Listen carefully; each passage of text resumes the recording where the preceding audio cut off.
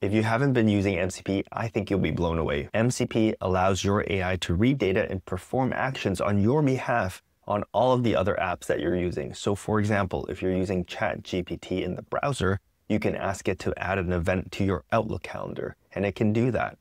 To do that, it needs a connector known as an MCP server. And this is what Zapier is.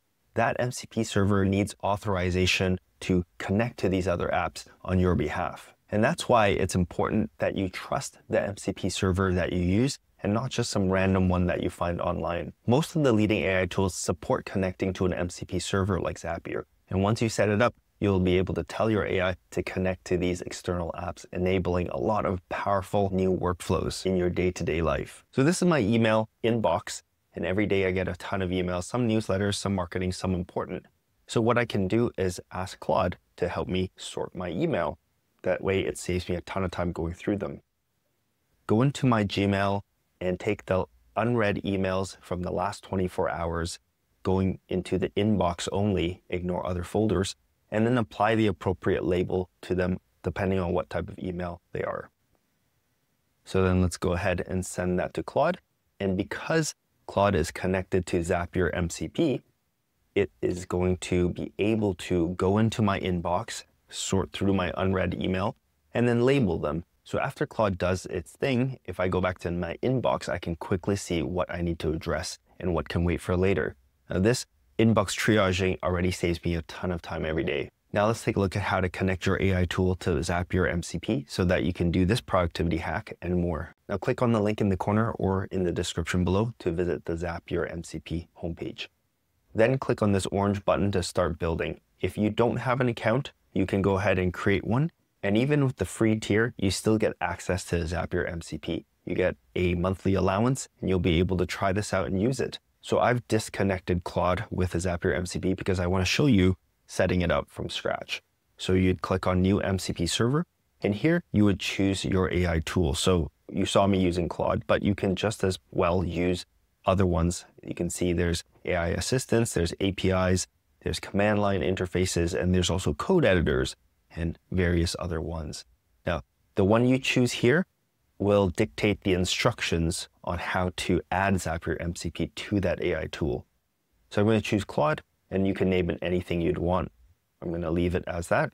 And the next step is simply to add the tools that you want to give Claude access to. So these would be the apps that you want Claude to be able to interact with and read data from. Now you saw me use the Gmail one, so let's go ahead and do that. if this is the first time you're doing this, you're going to be asked to connect your Gmail account. And essentially you're authorizing Zapier to access your Gmail account. That's why it's important to go with a company that has a track record and has done this for a long time, which Zapier is. Don't use a random MCP server you find online. And all you need to do to give authorization is it's going to pop up a window for you to log into your Gmail account and then that's all you need to do. We used find email and we also used create label. Those are the two ones you saw in my example earlier. So you, if that's all you want to do, you can simply add those two tools. So we go find email, just like that. And then we add the tool again, but this time for create label. And if you want to do additional functionality with other tools such as Calendar, Notion, there's over 7,000 apps, nearly 8,000 app integrations in Zapier. So any tool that you want to work with, for example, Google Analytics, you want to pull data for reporting purposes, or maybe you use HubSpot and you want to automate some of your client follow-up. The possibilities are endless. So I'm just going to stick with what we have for now because I want to just show you how to connect it. Next, we go to the Connect tab and this is going to be different depending on what client you're using because all of them, they set MCP servers a little differently. But I'll show you, it's really easy. So this URL, make sure you don't share this with anyone. I'm going to delete this server afterwards so that this doesn't fall into the wrong hands. Here's how easy it is though to add it to Claude. I'm going to copy the URL. I'm just going to click this button. It's going to open up the connector screen. I'm going to hit connect I'm going to paste the server URL in here, hit continue, and then it is going to ask, can Claude access Zapier? Yes.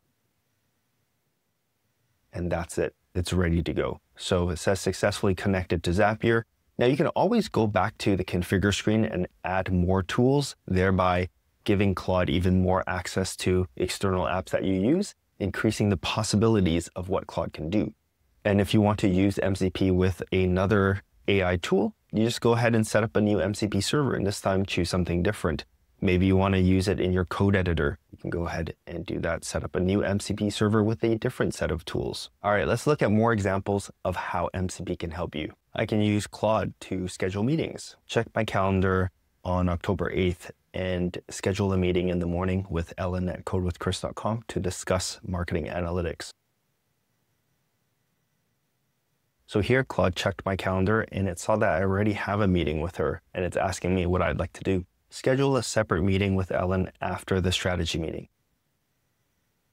All right, so it has created the event. I can see it right here. AI is really good for summarizing as well, giving you the main points and getting you to digest info quickly. I've done that with this blog post, and now I want to save it to my Notion workbook. Save these notes to my Notion workbook titled Article Summaries. So it's gone ahead and added this page to my Notion workbook. And sure enough, it's right here. If you're a software developer, you can also hook up Zapier MCP to your code editor, and then you can use different developer tools without ever leaving your editor. So these are just a few examples that I've shown you, but Zapier MCP has over 7,000 apps that you can work with. For example, create email drafts. You can pull reports and data in your analytics suite. You can pull Zoom meeting recordings, summarize them into meeting minutes, and then send them off to the relevant parties. And these are only some of the limited scenarios that I can think of right now off the top of my head. The possibilities are endless. The right way to use MCP is different for everybody. But once you find the right MCP powered workflow for you, it can save you a lot of time. I'll say this again, but a word of warning, don't use random online MCP servers that you find because you don't know if they are malicious. That's why I stick with Zapier MCP because they've got a long track record and they've been doing app integrations for a long time. And in a space where new tools are popping up every day, especially vibe coded ones, I think a reputable company with a track record matters a lot. At the end of the day, I value the peace of mind that comes with connecting my apps to a known provider rather than something random that I found online. If you feel the same way, click on the link right here to visit Zapier MCP to get started. A big thank you goes out to Zapier for sponsoring this video. All thoughts are my own. They haven't seen this video before it goes out. And furthermore, I was already using Zapier for my business before they even contacted me. And last but not least, if you want to see how I use MCP in my vibe coding workflow, check out this video. Or if you want to see me use MCP in more code related scenarios, check out this video right over here. Thanks for watching, and I'll see you in the next video.